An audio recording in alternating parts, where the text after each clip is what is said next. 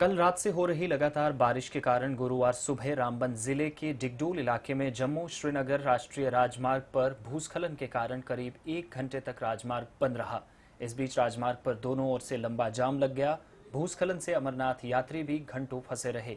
इस बीच प्रशासन ने भारी मशीनों का उपयोग कर राजमार्ग को साफ़ किया। आखिरी खबरें मिलने तक रामबन में भारी बारिश तो हो रही थी, लेकिन यातायात को सुचारू रूप से चालू कर दिया गया था। शुभ मंथल वक्त इंडिया डिगडोल रामबन।